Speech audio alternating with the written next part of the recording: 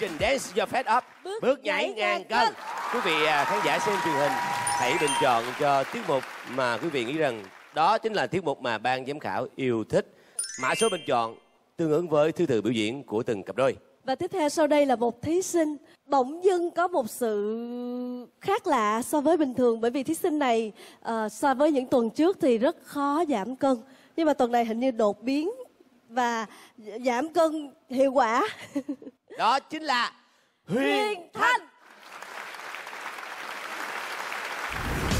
Tuần này thì bọn mình đã có một sự khác biệt so với các tuần trước là bọn mình à, phải thi hai bài. Quỹ thời gian bọn mình tập luyện thì chỉ có bằng đấy thôi.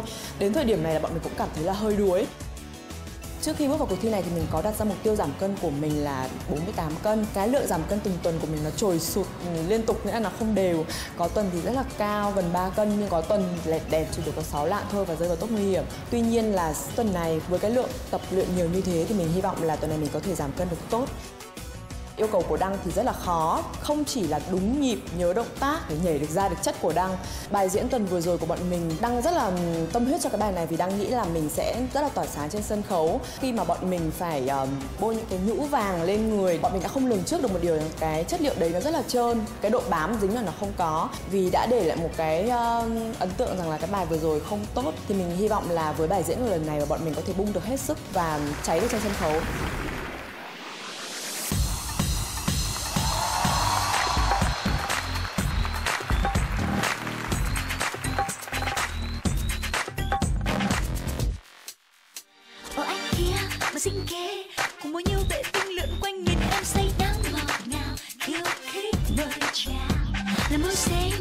Xinh nụ cười xinh làm bao vệ tinh chìm trong ánh mắt tự hào. Duyên dáng mời chào. Em sẽ không ngây thơ.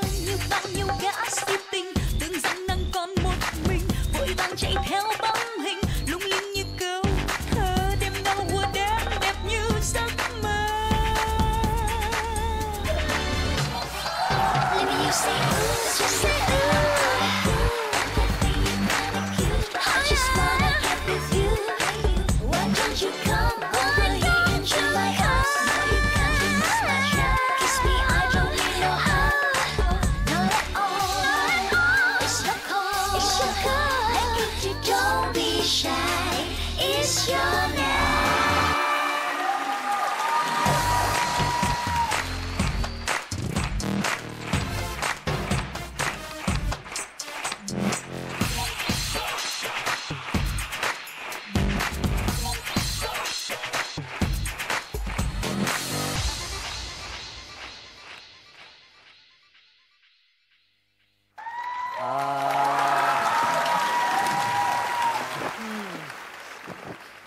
Hãy dành một tràng pháo tay thật nồng nhiệt dành cho Huyền Thanh và Quang Đăng. Vâng, thưa quý vị là chúng ta thấy rõ ràng là Huyền Thanh nhảy bài này quá hay.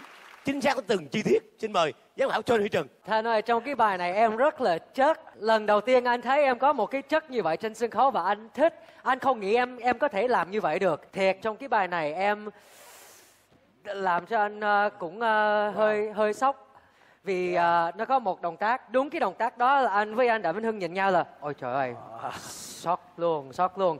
Lúc em qua đó, xong hai cái chân vùng cả cả với ờ, Đăng đó. Rất là hay rất khó luôn tại em không có cái gì để cầm và giữ lại.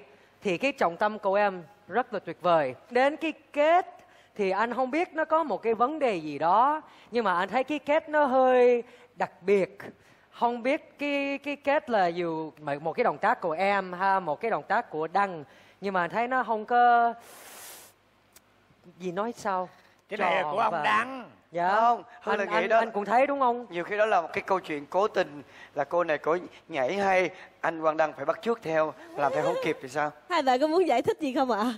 À, nói dạ. thiệt nha không có nói xạo Thiệt nha nha.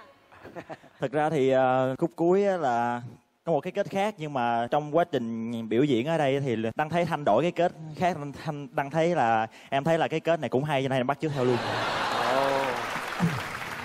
Vô tình thì đáng lẽ là đứng lên rồi thanh ôm lại ôm mà chắc là thanh thấy cái kết nó không hay lắm. Thanh muốn đổi là nào xuống đất đưa chân lên.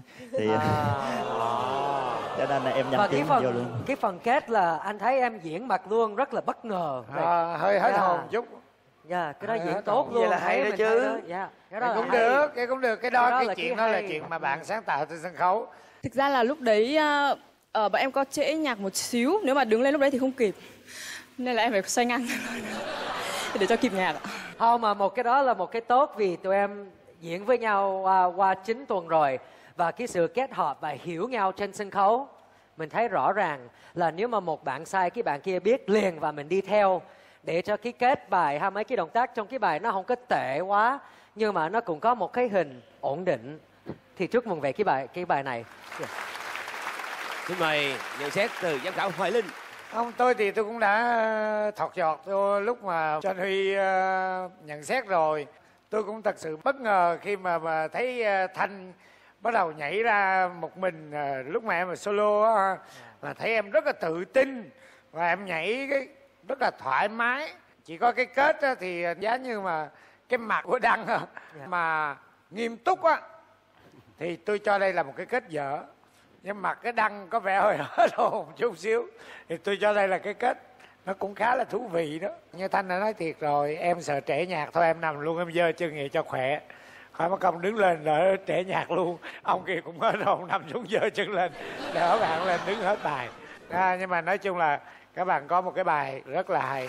Xin mời giám khảo đàm vĩnh hưng. Yeah, anh rất là ngạc nhiên ngạc nhiên thật sự luôn đó về khả năng nhảy múa vũ đạo của huyền thành. Từ múa đương đại ha múa dân tộc anh cũng làm rồi ha.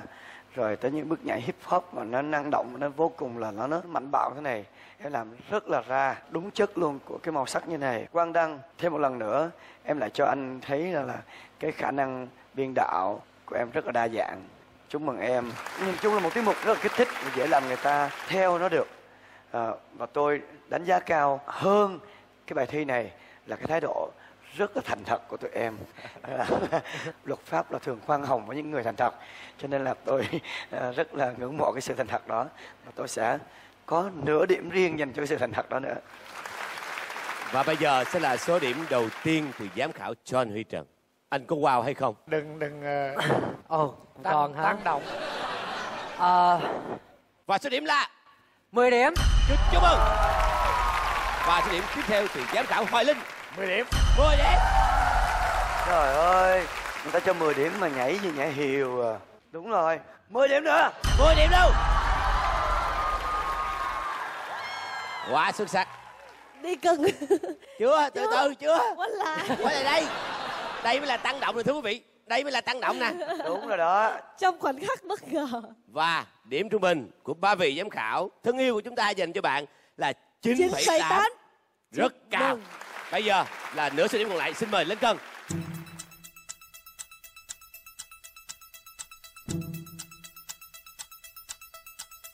Cân nặng cũ huyền thanh.